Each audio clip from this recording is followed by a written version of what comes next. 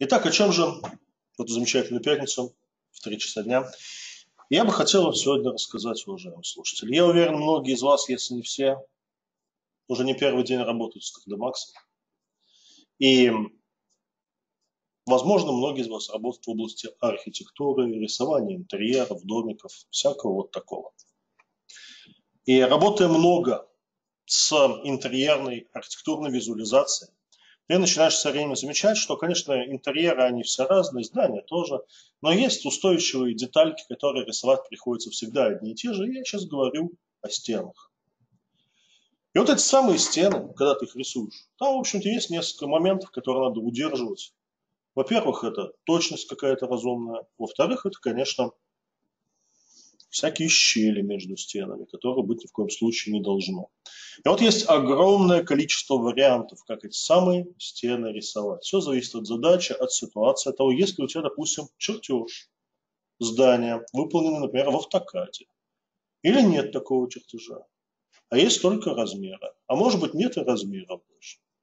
И вот я вам покажу несколько способов, как эти самые стены рисуются, начиная от самого примитивного, которому кстати, у нас на курсах не учим.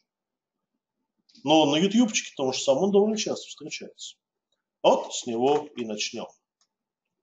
Я сейчас открою несколько файликов в процессе нашей учебы. Так, одну секунду. Дайте-ка их только сперва найду.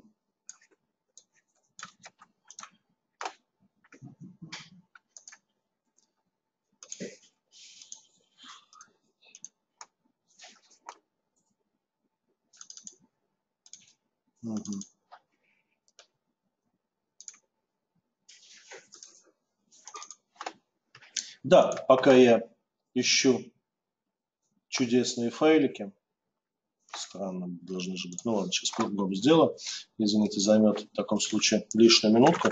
Хочется сказать, э, те технологии, которые я вам покажу сегодня на занятии, они, конечно, большей частью выполнимы в любой версии 3D Max.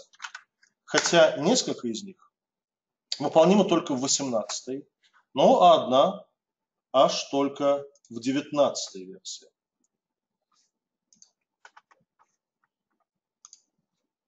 Так, ну вот теперь я чудесные файлики нашел, перекинул их себе на диск.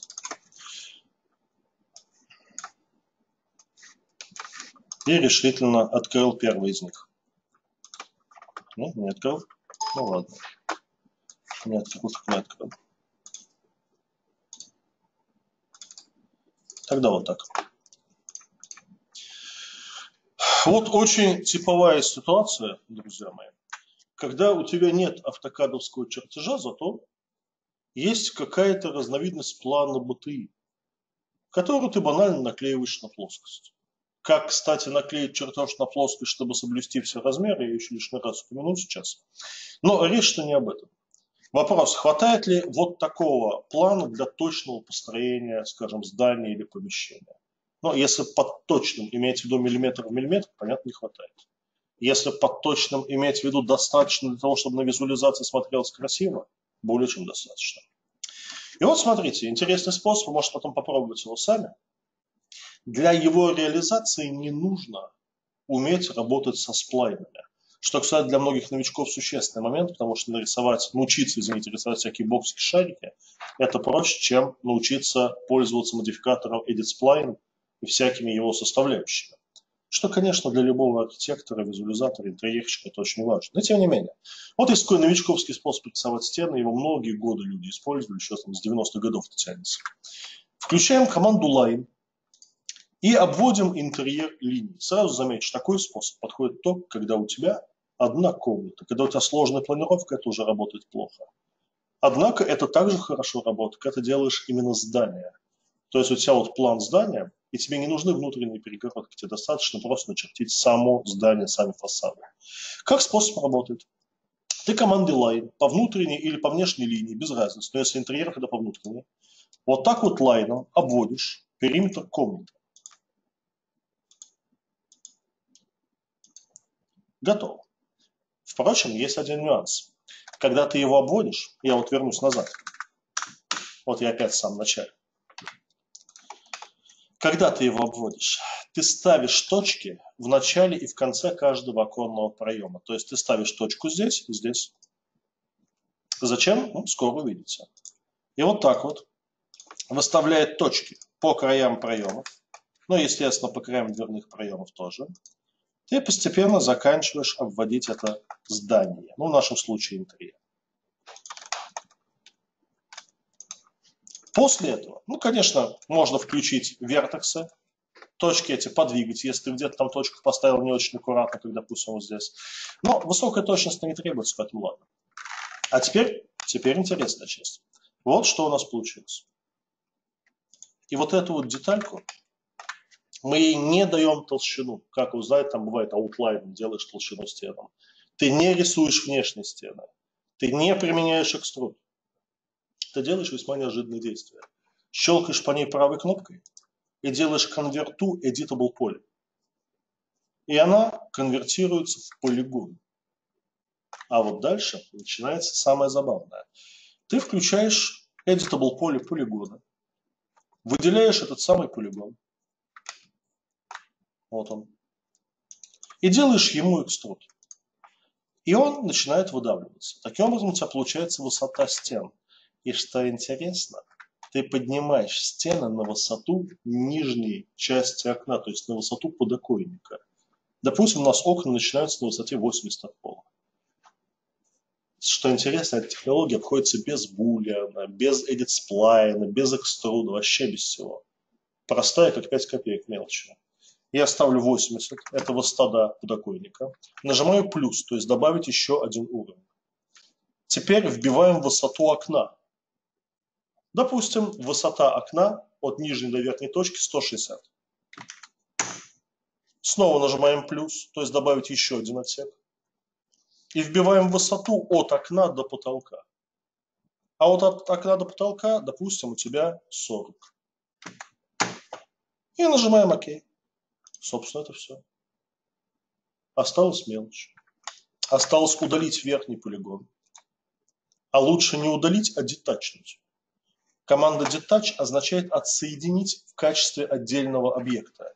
В этом случае верхний полигон станет доступен как отдельный объект потолок. И он же, естественно, пол. Вот я нажимаю detach. Окей. Временно выделю его и спрячу. Ну, а что со стенами, друзья? А со стенами вот что. Остается включить полигоны, и вот заметьте, там, где у нас ставились точки, помните, я поставил точки в начале и в конце оконного проема, там появляются линии от пола до потолка, которые позволяют теперь вот так выделить эти окна и делитом их стереть. А здесь выделить дверь и делитом стереть ее. Но если дверь по высоте находится не на уровне окон, то ты всегда можешь взять вот этот вот отрезок и его подвигать. Возможно, вы встречали библиотечные интерьеры, допустим, компании Evermotion – у них очень у многих стены выглядят именно так. Ты видишь, что они разлинованы на эту сеточку. Это говорит о том, что их сто пудов строили именно таким путем. И да, для помещения в виде одной комнаты этот путь офигенно удобный. Но а как быть, если нам нужна толщина стен? Ну, во-первых, зачем? Но, во-вторых, если нужна, тогда вешается модификатор shell. И что делает модификатор shell? Он добавляет толщину. Сколько скажется. Допустим, 20 сантиметров или 40 сантиметров. Тут, конечно, можно сказать, а вот это что такое, это вот так нормально, что ли? Нет, но у Шелла есть галочка, она называется «спрямить углы». Самая последняя, найдете ее легко. При ее установке углы получаются прямые. Ну и вот, собственно, все. Стены все сшиты, нигде щелей нет, размерность плюс-минус как тебе надо, и все готово. А что там с потолком? Ну, потолок вот он спрятан, валяется ему можно сделать экструд, чтобы он приобрел небольшую толщину. Только у нас, опять-таки, не сплайн, а полигон, поэтому экструд обычно ему не сделать. А вот тот же самый shell вполне можно. Опять, честно говоря, в этом нет никакого смысла делать его толстым. Только для того, чтобы сейчас было хорошо видно. И вот можно сделать его копию вниз. У тебя получается пол снизу, потолок сверху в вот таких плит. Если расстраивает тот факт, друзья, то, что здесь у нас линия идет не по краю, не так сложно в таком случае будет переделать этот потолок, то есть частенько его просто удаляют вот так все. А дальше рисуют пол или потолок без всяких затей, просто боксом вот таким вот все. Это не так изящно, но надежно закрывает его сверху, больше тебе не нужно. Вот этот способ строить стены, он один из самых-самых традиционных. Но я думаю, если вы даже чуть-чуть на секунду представить себе разные ситуации, вы легко сможете предположить, в каких случаях этот способ окажется бесполезным. Например, если какая-то стена у тебя, допустим, гнутая. Или, например, если какой-то из проемов у тебя, допустим, арочный. То есть тот способ, который я вам показал, годится для самых простых вариантов. Однако, если у вас будет задача с комнатой, с прямыми стенами и прямыми оконными проемами, можете его попробовать, он очень эффективен. Не зря его многие люди считают одним из наилучших. И он, кстати, не приводит к созданию никаких лишних полигонов нигде.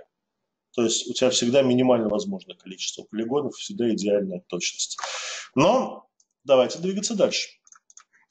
Способ второй, который очень известен, это использование автокадовского чертежа в качестве подосновы и быстрое построение стен.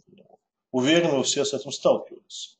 То есть заключается он в том, что ты сначала проверяешь единицы измерения, конечно, смотришь, чтобы у тебя стояли generic юниты сантиметры, ну и после этого ты импортируешь чертеж из автокада. Макс великолепно совместим с автокадом и с всеми иными такими же аналогичными ему системами. Вот я беру некий чертеж, допустим, квартира, там комната. Он переносится. Вот мы видим его здесь. Ребенок идет сюда. Ну и дальше, соответственно, поверх этого чертежа команды line быстро простраивается форма, линии оттачатся, экструдируются и получается коробка. Тут я даже не буду показывать, уверен, вы все так делали. Здесь как раз никакой сложности нет. Знай себе по точкам, обводи то, что у тебя уже есть. Но вот если ты строишь стены таким путем, из автокадовского плана, неизбежно возникает проблема в том, что у тебя нету окон и дверей в них сразу. Ну, ты, конечно, с одной стороны, можешь построить любые дуги, но тем не менее окон дверей у тебя не будет. И вот смотрите, есть у нас квартирка, построенная как раз таким способом. Вот. Строилась она по автокадовскому чертежу, и дальше линии между собой соединены, выдавлены экструдом. И нам нужно сделать в них проемы под окна и двери. Потому что при таком подходе, естественно, эти проемы сразу не возникнут. Вы все, я уверен, знаете команду Boolean у которой, кстати, в 3D Max очень непростая судьба. Но в любом случае команда Boolean предполагает, что сначала вы нарисуете болванки под эти окна и двери. Тут большой плюс. При рисовании болванок можно использовать не обычные боксы, а всякие комбинированные сплайны. Это еще зачем? А вот именно для создания, например, дуговых проемов, арочных, правильно говоря. Скажем, вот у меня есть размер окна, и я хочу сделать окно, которое сверху имеет вписанную дугу. Самый простой способ – это как раз уже сплайны. Мы берем ректангл, то есть прямоугольник, встраиваем его в будущий наш проем. Я, как видите, включил привязку, чтобы точно от вершины начать. И наверх встраиваем дугу. А вот дальше начинается самая большая головная боль для людей, которые, скажем так, с Максом не очень плотно знакомы. Потому что дугу с прямоугольником нужно как-то объединить, чтобы потом выдавить.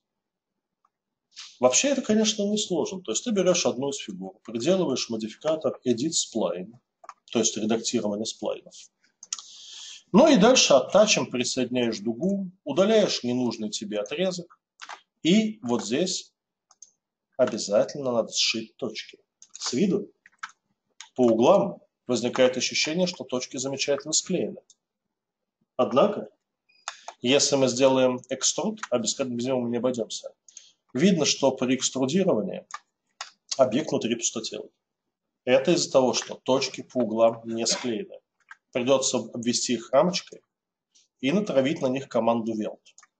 Если вы нарисуете дугу к прямоугольнику с привязкой, то, естественно, между соединениями точками будет ноль расстояния, и weld сработает даже, если вы не будете ничего настраивать у него. Теперь, как видите, с экструдом все хорошо. И я заменю болванки, сделанные обычными прямоугольниками, извините, боксами, на болванки, сделанные вот этим модным набором сплайнов. Заметьте, здесь окно чуть-чуть шире по конфигурации. И возникает вопрос, как получить более широкую дугу. Ну, можно как вариант бокс просто растянуть. При этом, правда, изменится форма дуги, она станет более широкой. Можно увеличить его вот так, а потом опустить вниз и, соответственно, этот отрезок поднять повыше. Для этого надо выйти сплайн, переключиться к сегментам и просто приподнять его. Но в этом случае мы получим точки ниже. Ну, это неизбежно было в жизни, все то же самое. Как бы там ни было, не буду сейчас усложнять, сделаю его просто шире. И вот теперь мы подходим к моменту, который частенько портит все дальнейшие планы пользователя. Речь о том, чтобы из стены, нарисованной линией, повырезать все вот эти вот детали. В 3D Max, что забавно, есть такое понятие трехмерные объекты, компаунд объекты и дальше boolean. Но забавно не то, что там есть, а то, что команда boolean пережила несколько перерождений. Команда Boolean изначально самых древних версий 3D Max, с первой еще версии его, всегда считалась супер глючной и криворукой. И вот, начиная где-то там с какого-то 2000 какого-то Макса, в комплекте у него появилась новая кнопка, которой, я уверен, вы многие из вас пользуетесь. Она называется ProBoolean. Кто у нас пользовался? Вижу, многие. И вот не все заметили, но в 18-й версии Макса обычная команда Boolean была очень сильно улучшена. То есть теперь обычная команда Boolean, это не та же, что была раньше, это совсем другая команда, которая работает ну никак не хуже про Boolean, а на самом деле лучше, сетку создает чище. Поэтому если у вас 18-й Макс, то используйте опять команду Boolean. Ну давайте посмотрим, как она работает. Я нажимаю Boolean, и она выдает вот такой диалог. В отличие от классического пробулина, к которому все уже привыкли, у нее, как видите, по умолчанию включена операция объединения, union. Это что означает? Это означает, что объекты склеются, сложатся, соединятся. Надо переключить на subtract, то есть вычитание. И только нажав subtract, вы нажимаете кнопочку add operand, то есть добавить операнды, ну и вот так вот указываем каждую из болваночек. И она их все вырезает. О, видим любимые глюки. Вот эти глюки, которые вы довольно часто сможете наблюдать себя на стенах. Они и в команде ProBoolean, и в обычной команде Boolean просто обожаемы.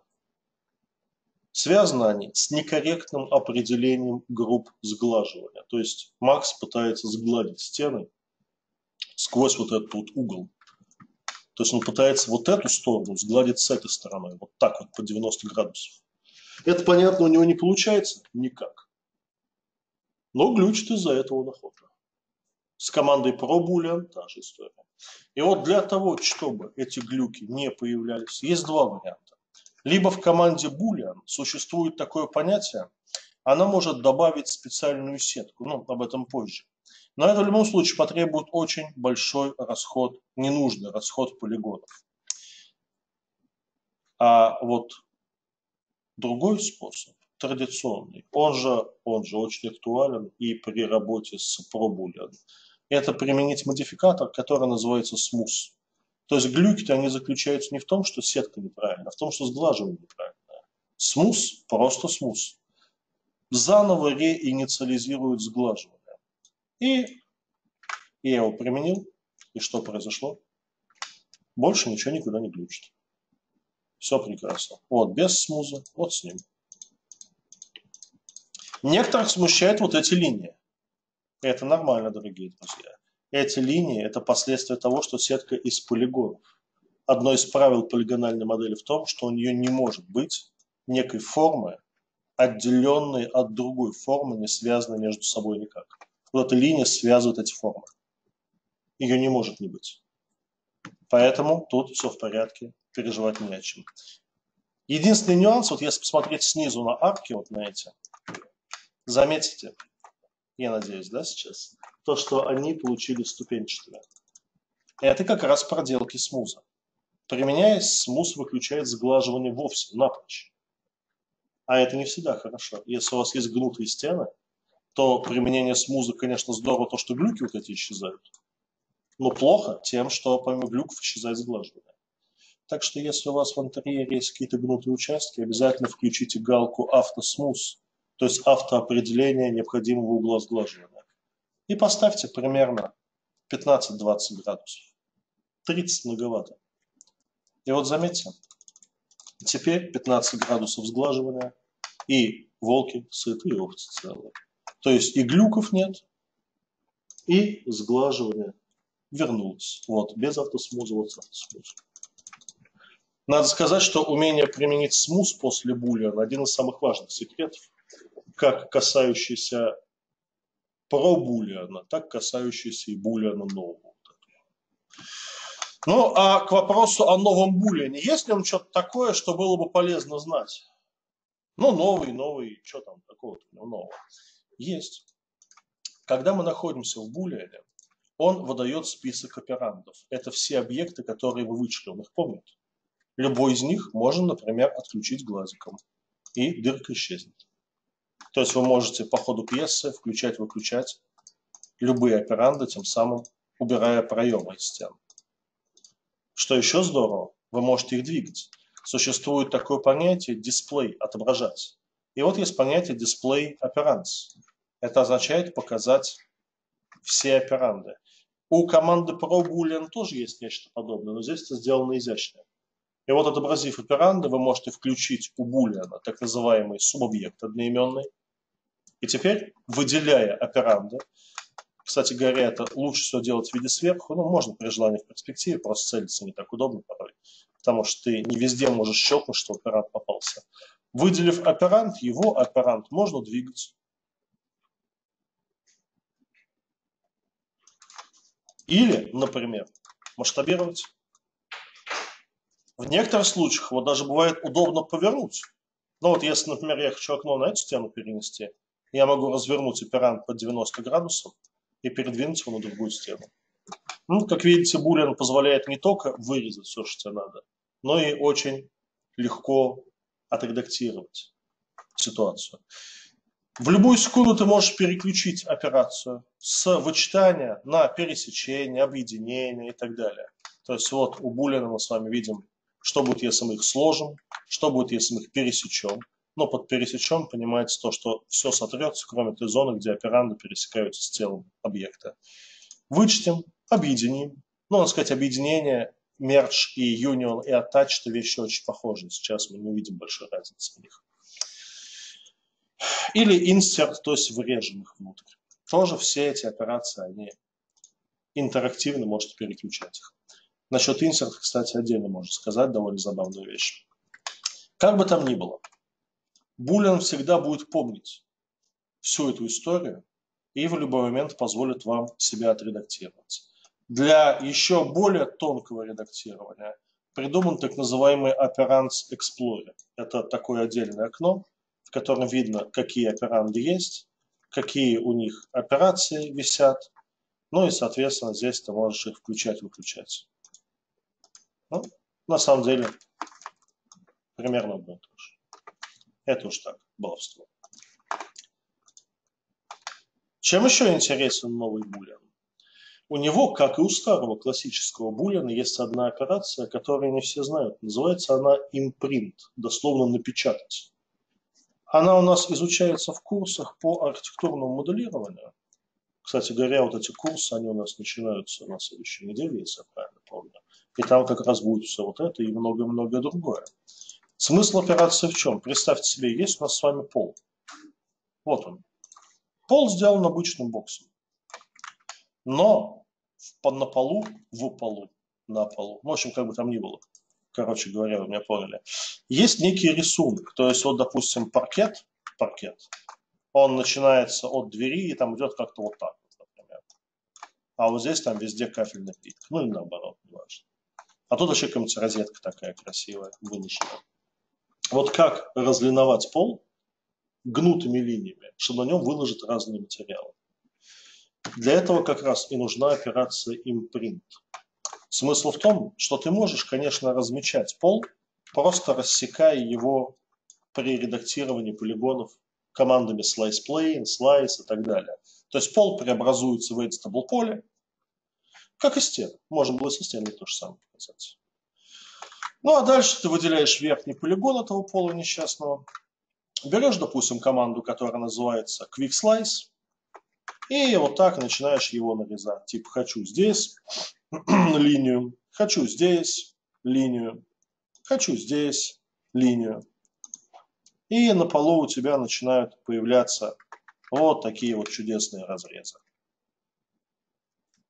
Ну а дальше получается, что если ты взял в редакторе материалов, сделал несколько материалов, допустим, я возьму обычный стандартный материал, часто дело не в том, что за материал, а суть она в том, что теперь, когда ты пол разрезал, ты можешь вот так выделять части пола, делать новые, новые, новые материалы и назначать их на эти выбранные части. Ну, это, конечно, как говорится, не бином Ньютона, то есть это очень типовая такая операция, которая вообще известна, то, что ты можешь резать поверхности и вот так клеить на нее куски. Но сложность она в другом. Как быть, друзья? Если тебе нужно нанести материалы на пол не по линиям, а по сложной форме, вот для этого опять нужна команда Boolean в режиме, который довольно, ну, скажем так, в режиме, о котором знают далеко не все. Можно взять команду line и просто на полу нарисовать лайном форму сложного рисунка. Обязательно линия должна начинаться за пределами зоны, которую ты хочешь расчерчивать. Ну, допустим, здесь у меня пойдет вот так вот, здесь у меня пойдет вот так вот, Здесь у меня будет какая-нибудь розетка впилена, вот такая здоровенная. И, может быть, даже от нее будут лучи такие расходиться.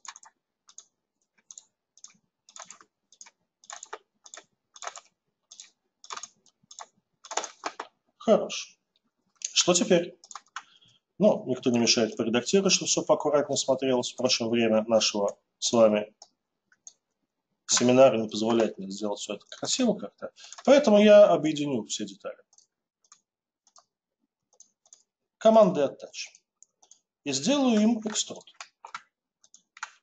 При экструде я довольно редкую опцию закажу. Уберу галки capstart, capend. Это означает не создавать площадок ни сверху, ни снизу. То есть экструд пустотелый. И теперь вгоню эти детали внутрь пола. Можно насквозь, но в этом нет необходимости. Достаточно сквозь верхнюю поверхность.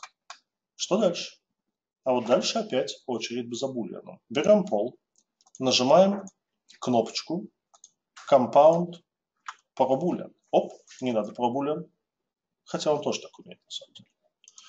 Мы договорились использовать новый булен с вами. Новый булен. И добавляем оперант, вот этот. И он сложился. Фигня какая-то. А вот теперь для него ставим галку imprint, то есть напечатать. Заметьте, при выполнении импринта детальки потерялись, а след от них замечательным образом остался. Ну и теперь, эти лучи, кстати, пропали, надо будет довести вот так насквозь с гарантией. Ну ладно, как бы там ни было. Есть еще режим куки, формочку, он, по идее, может вырезать дырку здесь. Но ничего такого. Во всех остальных случаях, кстати, insert, attach, merge, будет примерно то же самое, то есть здесь дело именно в галке imprint. Есть еще вариант выполнить мерч, потом сделать конверт to поле потом поудалять вот эти полигоны. Тоже так сработает. Но я оставлю импринт. На гнутых линиях идеально сработало, как видите. То есть теперь можно сделать конверт to editable поле снова, убрать ненужные кусочки торчащие вот эти вот, если такое желание вообще есть. Ну, вот. ну а дальше, выделив полигоны, покрасить их другими материалами. Ну, кстати говоря, что-то глючновато как-то. Ну-ка. Интересно. Ух ты. Вот это глюк. Но вынужден признать, да, система изрядно глюканула. Ладно, дорогие друзья. Я использую вариант insert, вставка. Теперь остается только повыделять вот эти вот детали и удалить их. Хм. Да. Не все коту масленица.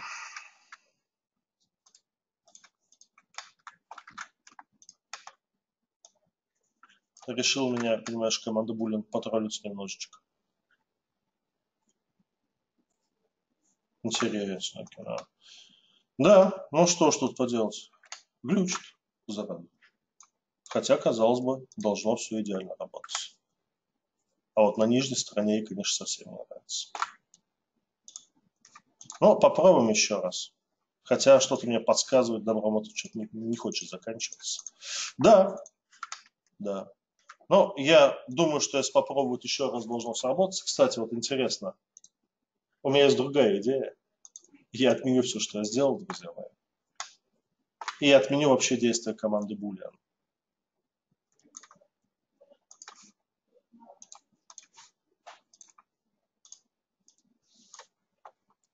Хочу извлечь этот оперант, чтобы он исчез. Единственное, что придется теперь заново нарисовать детальки. Ладно. Мне очень обидно за ситуацию, поэтому я хочу попробовать еще раз. Но в этот раз я уж поступлю по старинке.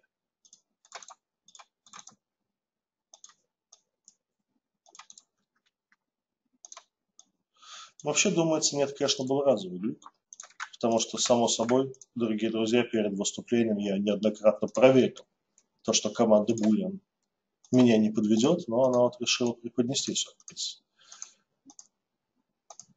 И все же, как видите, я заново запилил детальки, но в этот раз я не хочу давать шансов Булину глюкануть снова.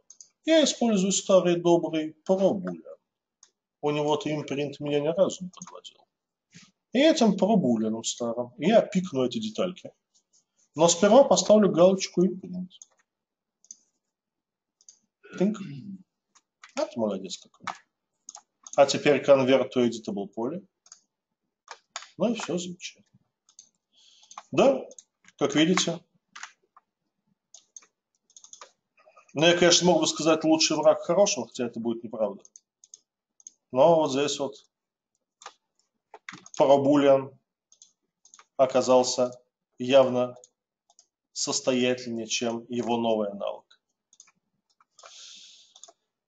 Вот напиленные импринтом детальки на полу, теперь смотрится прекрасно unhide.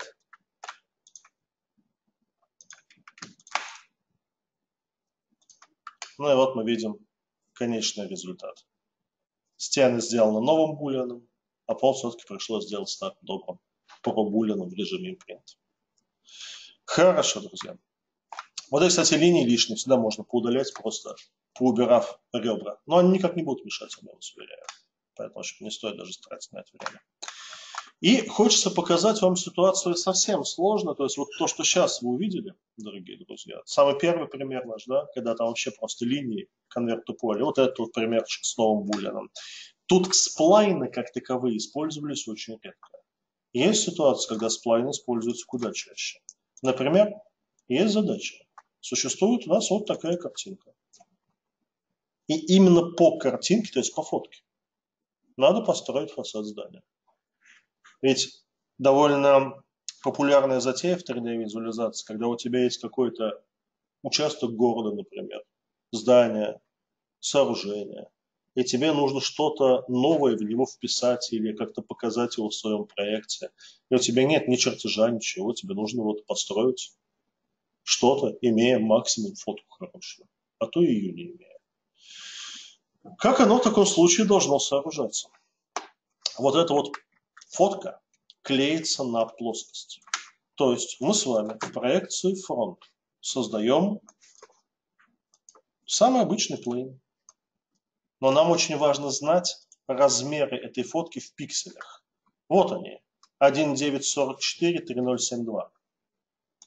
1944 3072. Именно такие размеры я поставил плейн.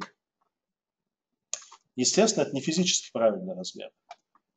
Но чуть позже это сыграет свою роль. Теперь делаем материал с диффузной картой нужной нам картинки. Вот она. И назначаем на объект. В некоторых случаях достаточно просто перенести из проводника картинку прямо на этот плей. Это уже хватит. Ну и вот он наклеен. Обратите внимание, качество прорисовки может быть очень низким. В окне проекции существует менюшка, если плюсик нажать, называется конфигурация окна. И там есть понятие текстур maps. Как видите, всего 512 пикселей. Это качество загружаемой текстуры. Видно, что сейчас текстура просто ужасная. И я поменяю 512 на хотя бы 2000 пикселей. И вот сейчас вы можете заметить, насколько сильно текстура улучшилась. Давайте еще раз покажу, если вы не очень внимательно смотрели. Вот значение дефолтное. Вот значение, например, 3000. Мне доводилось рисовать дома по картинке или по эскизу из PDF строительной документации. Очень удобно. Вот теперь все хорошо. Но здесь, конечно, друзья, ну ее, кстати, заморозить еще можно.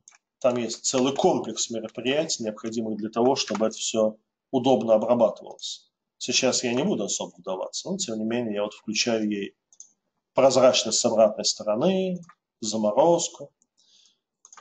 И вот теперь у меня эта плоскость не выделяется, с обратной стороны не видно. Ну а дальше придется пользоваться сплайнами. Чтобы нарисовать верхнюю часть вот эту, придется делать дуги. Берем команду arc, дуга. Тут уже все рисуем в виде спасада. И вот я строю первую дугу прямо по точкам визуально. Копирую ее дальше на второй проем. Есть две дуги. Вооружившись командой линия или еще проще прямоугольник, я строю прямоугольник вот до верхнего фриза. Теперь, сейчас вы увидите новую команду, интересно. Пока у меня вот так. Я беру convert to editable spline прямоугольнику, Оттачу к нему дуги, естественно. И удаляю вот этот нижний отрезок. Теперь нужно соединить край прямоугольника с дугой и с этой дугой. Но это делается вертекса командой connect. Так, и так. А дальше, вот почему я не нарисовал еще одну дугу, почему я не стал здесь с ними морочиться. Оказывается, есть интересная фишка – с новой, друзья мои, командой «Зеркало». Существует такая командочка, появившаяся в 18 марте. Это новый модификатор. Он называется Spline Mirror, сплайновое зеркало. Невероятно удобно для интерьерщика или архитектора. Чем команда Spline Mirror интересна? Она по pivot point по умолчанию зеркалит половинку деталей и сразу сшивает ее. Если вы владеете полимоделингом, то это, по сути, аналог команды Symmetry, а вернее модификатора Symmetry, только для сплайнов. И вот я нажимаю Spline Mirror и... Упс, что-то пошло не так. Галочка Flip меняет направление зеркальности. Вот теперь все пошло так. Что приятно, если вы будете редактировать какую-то часть изделия, допустим, вот, то зеркальная плейнка редактируется автоматически. И теперь мне остается только приделать экструд, и я получаю первую из необходимых мне деталей. А ее толщине придется гадать. Да. Допустим, метр. С колоннами ситуация очень несложная. Берем команду line. Вот эта вот часть, скорее всего, у нас прямоугольная будет. Ну, а здесь начинается круг уже. То есть вот тут верхняя часть колонны, она, естественно, рисуется лайном от центра до края. Такая капителька. часть капителя, плита, скажем так, на которой капитель стоит. Вот. Чтобы получить ее, что называется, в теле, применяем модификатор Lace, старый добрый, ось минимум, но только нам же нужен не кружочек, не блинчик, а плоскость, то есть квадратик. Ну, в таком случае ставим у него 4 сегмента. Вот сей квадратик. Тут нелепое сглаживание, из-за чего не видно границ. Применяем модификатор Smooth или отключаем галку Smooth здесь, если у нас тут нет никаких профилей красивых. Беда в чем, если ты вот здесь вот сделал профили какие-то, ну, то есть, допустим, вот тут вот сейчас классическую такую сделаю, двухстороннее, обычно делается, а здесь вот двусторонний изгибчик сделаем. Вот, если сделал вот такую какую-то штуку, то смус убирать нельзя, потому что у тебя все профили пойдут ступеньками. Тогда применяем модификатор смус, тот самый, которым мы стены лечили. Он очень в строительстве удобен. И он сам разберется, где сглаживать, а где нет. Вешаем смузик. Шпанг. Где у смуз? Вот он. Автосмуз и там 15 градусов. То есть почти во всех случаях, друзья, это сочетание автосмуз 15 градусов решает все проблемы. Но одна только проблема не решена, то, что деталь углом там стоит. Ее теперь придется центрнуть опорную точку и развернуть на 45 градусов. О, все. Да, мелковато теперь-то, потому что наша диагональ стала плоскостью, поэтому придется отмасштабировать в плоскость. Либо подвинуть сечение в бок, что тоже возможно. Единственное, что беда, у сечения диагональная теперь нужна ось, называется parent или local чтобы она уходила вот так вот. Вот теперь все хорошо. Все, верхняя часть готова. Ну, нижняя площадка у нас, давайте сейчас я не буду усложнять жизнь, ладно, она будет такая же, как и верхняя. То есть просто зеркалом копируем ее. Y копия, окей. Вот, получили нижнюю площадку. Побольше ее сделаем, и будет все хорошо. Шикарно. Ну, а сама колонна тут уже дело, что называется, вообще 5 минут. Мы вот делаем профилечки вот эти. Естественно, их там потом придется досглаживать, делать всякие красивости неровные. А лучше посмотреть, как выглядят такие колонны в реальных каких-то сооружениях. На фотке я имею в виду с разных видов, чтобы иметь возможность прорисовать ее еще лучше. А еще лучше взять готовую, если есть. Но, тем не менее, сейчас готовой у меня нет, а была бы, я все равно не стал использовать. Все, опять применяем модификатор Lace, ось минимум. Ну и вот они, колонны готовы, осталось только раскопировать. Вместе со всем вот этим барахлом, конечно, объединить их. В общем, не думаю, что это у кого-то вызвало какие-то вопросы. Конечно, все строится легко. Что строится сложнее в такой архитектуре? Вот представьте себе сама стена, на которой мы смотрим в плоскости, вот это вот. Нам нужно как-то в виде сверху ее обчертить. То есть вот мне нужно вот эту вот конфигурацию стены передать на вид сверху. Но в виде сверху, блин, у меня нет чертежа никакого. Как я сейчас чертить что-то буду? Можно разметить. Существует такое понятие point, разметочная точка. Живет в рулетке. Вот она. Эти разметочные точки я сейчас поставлю особым образом. Давайте я спрячу колонну. Я поставлю разметочные точки вот так вот сюда, сюда, сюда, сюда.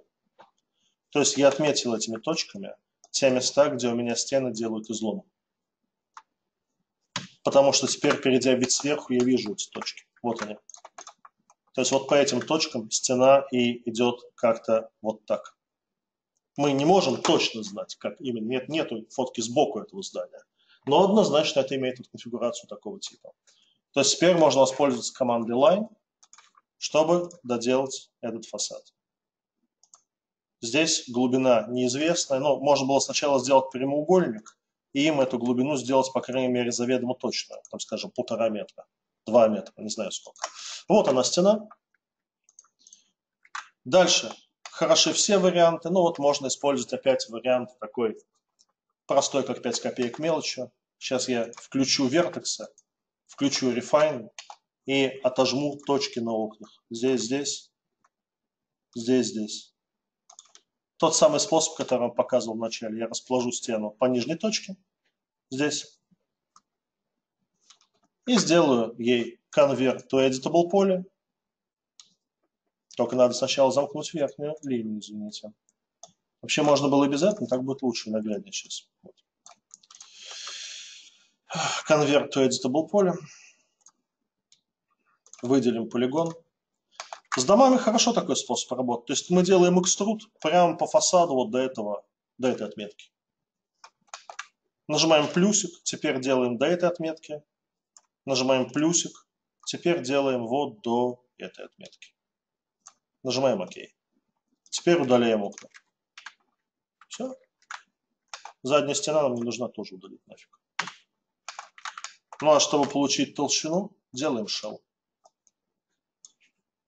А, тут еще надо было. Ну, бог Прошу простить, уж не буду мелочиться. Вот, делаем shell, то есть очень быстро получаем конфигурацию стены, только в этот раз shell нужно внутрь делать, чтобы он туда ушел. Вот, и, соответственно, straight and corners, чтобы прямые уголки были. Нолик лишним. Вот так, хорошо.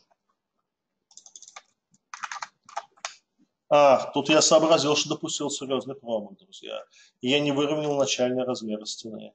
Это была большая ошибка, кстати. Что я имею в виду? Давайте я спрячу все объекты. Это была действительно моя большая ошибка. Я торопился, чтобы времени хватило больше на выступление. И не подумал о чем. У нас размеры стены, они совершенно от балды и ничему не равны. Мне нужно, чтобы ее размеры были хотя бы более-менее близки к действительности. А для этого нужно было найти хотя бы одну привязку. Ну, скажем, дверь, она почти всегда около сотки по ширине и в районе 210 по высоте. Это означает, что если я нарисую бокс, у которого будет высота, ширина 100, а высота 210, то вот такого размера дверь должна примерно быть. То есть теперь я беру стену, я ее уменьшаю до пока она, стена, не совпадет с этим боксиком. И вот только после этого стоило бы дальше работать. То есть тогда, вот совместив стену и боксик, я получаю хоть какую-то, друзья мои, ну, скажем так, гарантию, то, что размеры получатся адекватные. Потому что, как я начал работать, не выровняв размерность относительно к абсолютной, я, естественно, размеры получил абсолютно абстрактные, ничему реальному не равные. Это не то, что прямо смертельно плохо, но это нехорошо. Но сейчас уже поздно что-то перестраивать. Вернее, не поздно, но не хочу, чтобы время тратить наше. Вот получается вроде бы неплохо получается, как я и хотел. Где-то, кстати, я немножко все-таки просчитался, потому что а, она должна вперед выходить.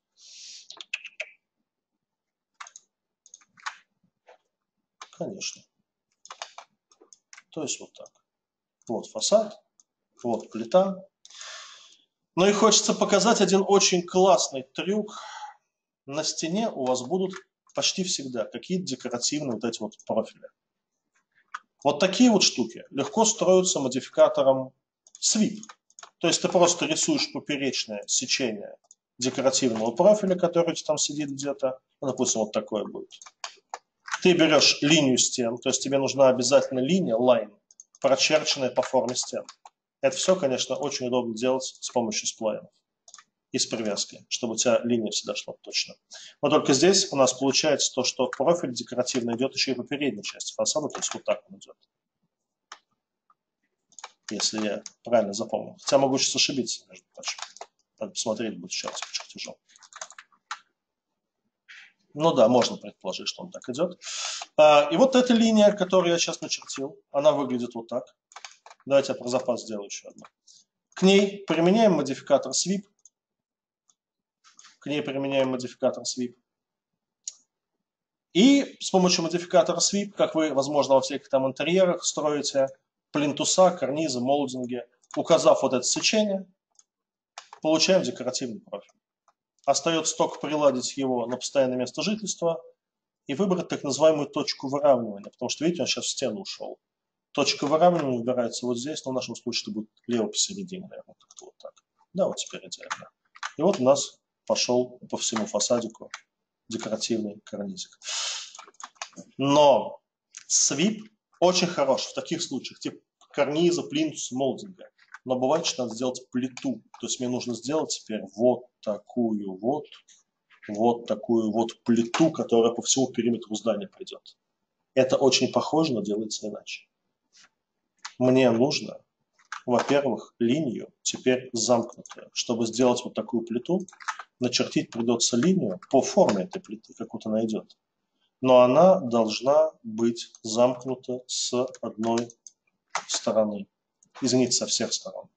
То есть вот тут вот наверху я сделал копию. Я сделаю замкнутую форму.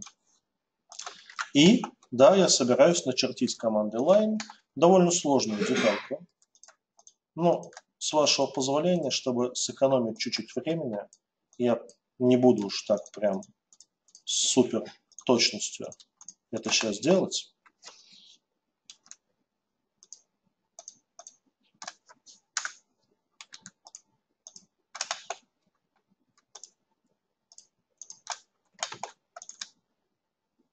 Годится. Заметьте, я не буду ее замыкать. То есть она не имеет замыкания внутри.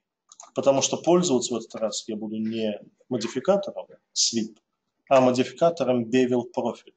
Он чудо как хорош для архитектуры в таких ситуациях. Вот у меня есть деталь. Форма – это ее поперечный профиль.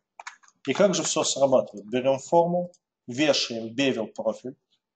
У bevel профиля включаем в самом начале режим Classic. И pick profile, указываем профиль. Вот деталь готова. И она садится. Возможно, а возможно нет. Вот именно на моменте, которым сейчас покажу, большинство людей с bevel профилем затык.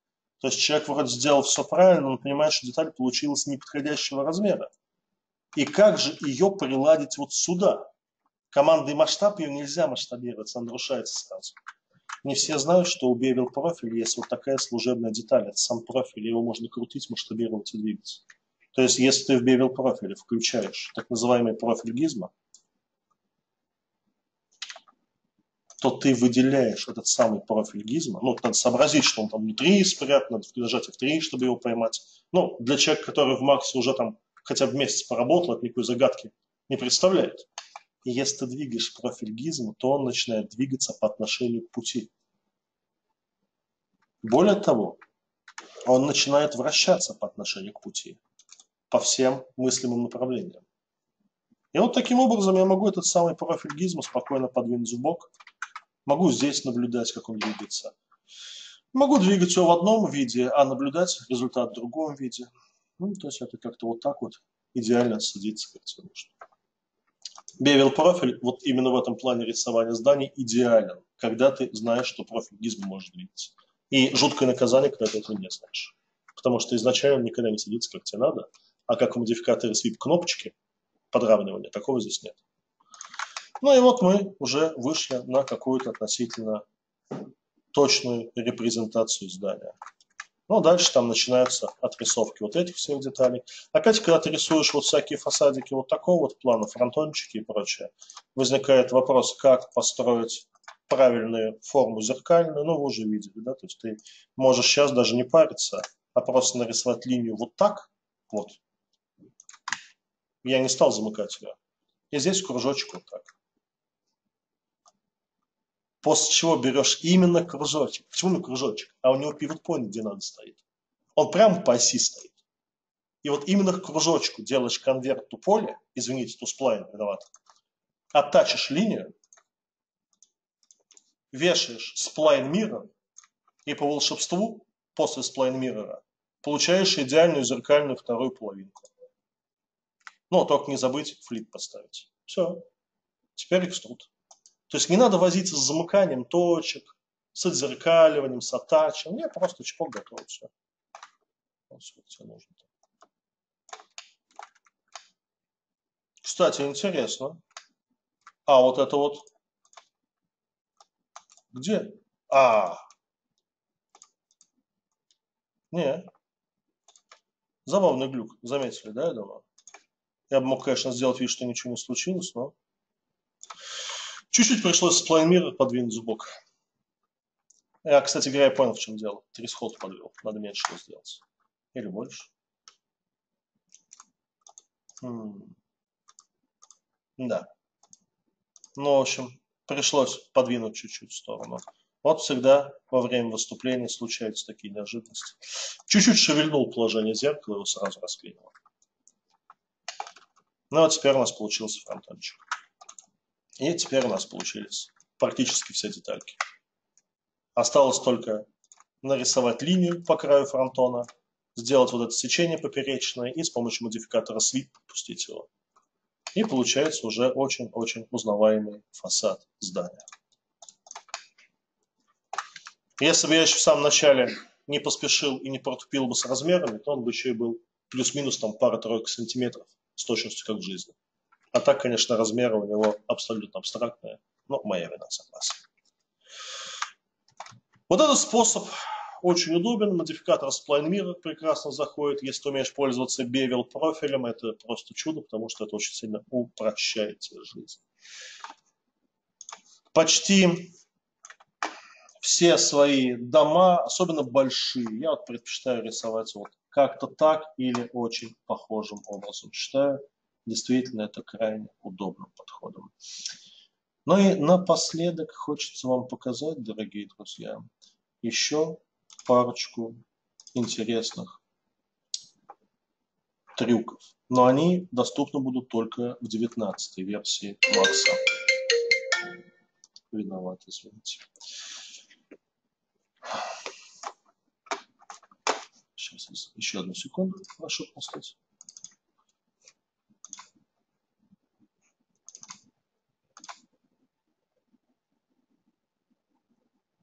Угу. Ну, замечательно.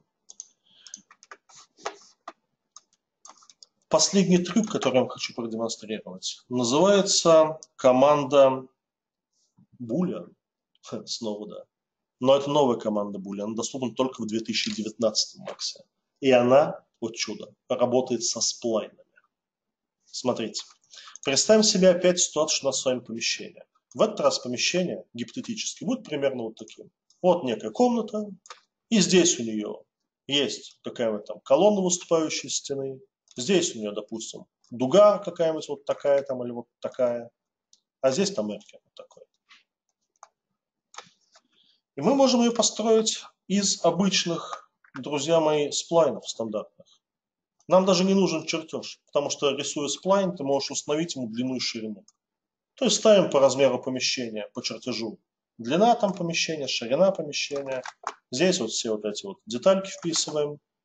Здесь вписываем круг, чтобы получить дугу. Можно его там немножко сжать, например. Здесь вписываем n-угольник, чтобы получить эркер выступающий. А дальше мы с вами в 19 максе в диалоге создания плоских фигур можем заметить, такая новая штука появилась, называется Compound Shapes. Compound Shapes это по сути команда Boolean только для шейпов, то есть для фигур плоских. И включив Shape Boolean, ты получаешь тот же диалог, что и в Boolean, но только для плоскостей, для деталей сплайнового типа. То есть также add operands, я говорю, давай объедини вот с этой деталькой и с этой деталькой. И теперь вычти вот эту детальку. Прелесть в чем? Как и обычный буллин, это буллин параметрический, он помнит все вырезанные детальки.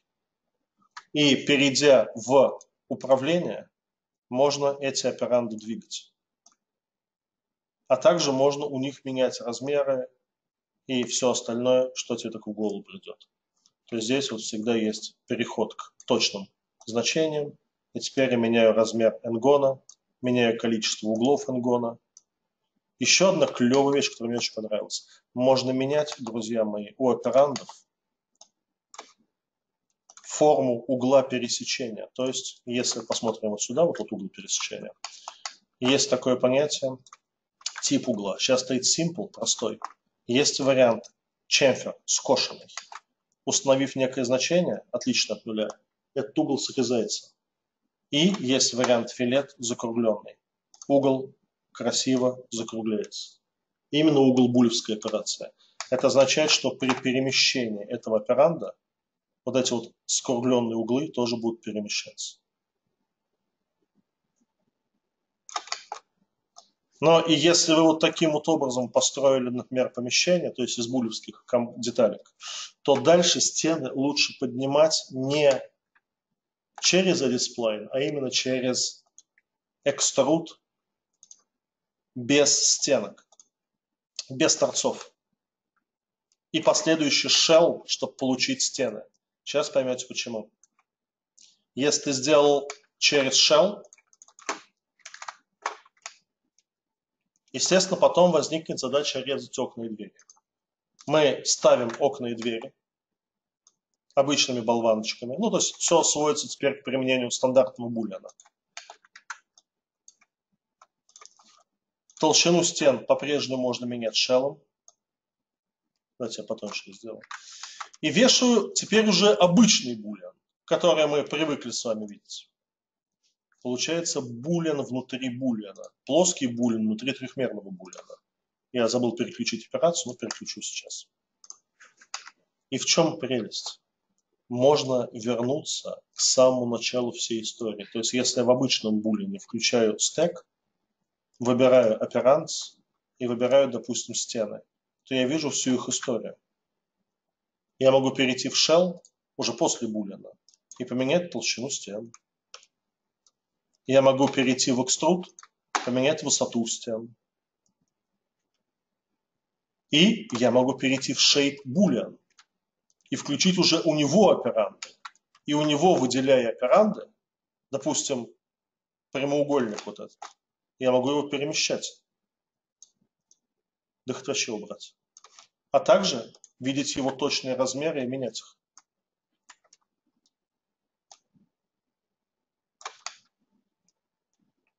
Ну, то есть, вообще говоря, это и в технологическом моделинге очень значимый трюк, но и в таком тоже, потому что получается у тебя параметрический объект, к истории изменения которого ты всегда можешь возвращаться даже на самых поздних этапах. Ну, если только ты, конечно, не приделаешь что-нибудь типа там конверт to editable poly и все в таком духе, когда у тебя накрывается вся история изменений. Ну что же, друзья мои, из того, что вы сегодня видели, постарайтесь дома попробовать Spline Mirror модификатор, новый буллин посмотреть. Если у вас 19 мат, попробуйте плоский буллин. Если вам понравился трюк, как быстро создавать помещение, рисуя его линиями и ставить точки на проемах дверей и окон, попробуйте этот способ. Он действительно супер быстрый. Хотя сложные квартиры мне не рисуешь. А вот фасад здания по внешним точкам замечательно рисуется, как и отдельно взятый комнат. Это все, что я хотел до вас донести, уважаемые друзья. Сейчас я еще остаюсь на связи на вебинаре. Если у наших уважаемых вебинаристов есть вопросы и замечания, я буду рад вам помочь. Естественно, какие-то вещи я обошел чуть стороной или, может, показал не в том объеме, в котором можно было из-за ограниченности по времени. Хочу сказать, что вот на следующей неделе начинается курс, называется архитектурное моделирование. Вы там столкнетесь со стенами, крышами, вы увидите, как строить всякие сложные детали, типа лепнины, ковки, литья. Посмотрите, как делаются ландшафты. Ну, в общем-то, это такой всеобъемлющий курс, именно заточенный под создание сложных деталей для интерьеров и зданий. В том числе увидите вот эти вот подходы. Ну, а на сегодня все, друзья мои. Спасибо за внимание ваше. И я нажимаю стоп.